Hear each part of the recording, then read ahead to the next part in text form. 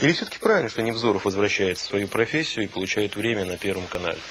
Каким бы ни был, кто-то его смотрит. Так.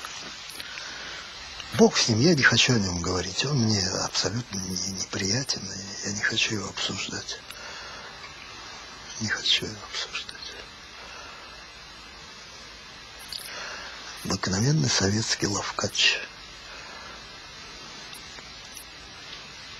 Комсомольский работник.